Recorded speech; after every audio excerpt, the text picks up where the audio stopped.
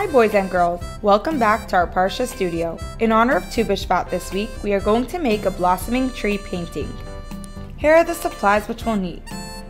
A glue stick, scissors, the printed tree template found in the resources attached to this video, a sheet of brown cardstock, strips of quilling paper in various shades of pink, a canvas, a few q-tips, white, pink, and light blue paint, a paintbrush, and a pencil or pen. Let's get started. Begin by painting the entire canvas blue. This will be our sunny sky background. While you're painting, I have a little story to tell you.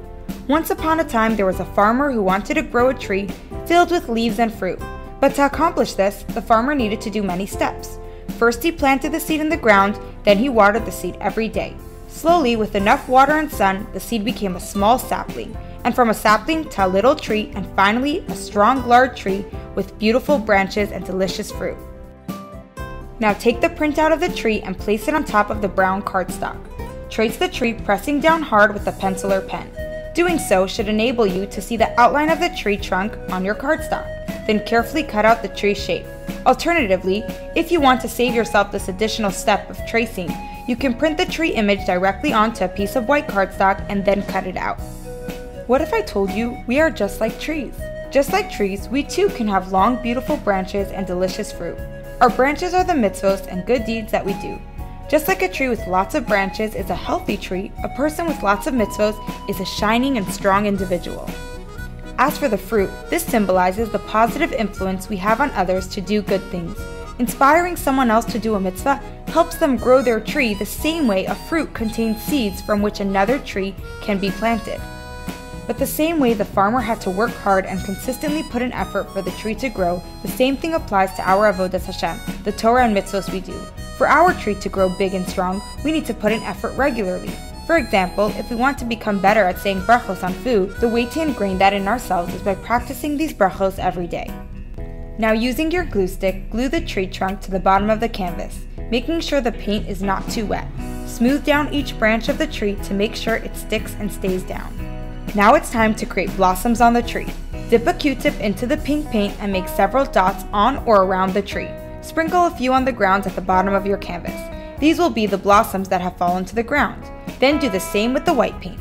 If you'd like, you can choose to mix or mesh the white and pink paints to create a slightly more realistic effect.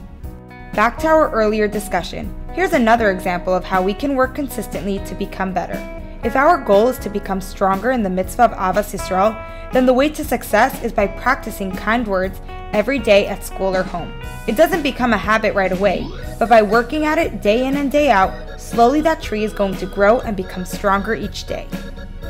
Growing branches on our tree not only makes us stronger and better, but it also makes the entire world a better place. This Tu B'Shvat, as we celebrate the birthdays of the trees, you can think about what actions you can take to make your tree and your mitzvah branches grow stronger. Next, we are going to create more blossoms for our tree using a special technique called paper quilling, which is a method of creating beautiful designs and shapes by rolling thin strips of paper. Choose which color paper strip you'd like to begin with.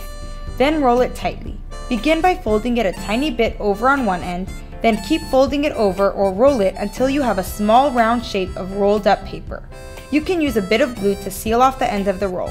Do the same with each strip of paper using all the shades of pink and white. The rolls can be of different sizes. It adds variety to the art when they are not all the same. Apply glue on one side of each paper roll blossom and stick it on the tree. Make sure to put enough glue so it will stick. If you're finding it doesn't stick very well, you can use liquid glue for this part.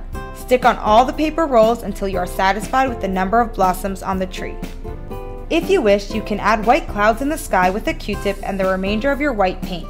They can be fluffy clouds or wispy clouds, whatever you think suits your painting. And with that, we're all done. Enjoy your beautiful piece of art. Happy Tu B'Shvat and hope to see you next week at our Parsha studio.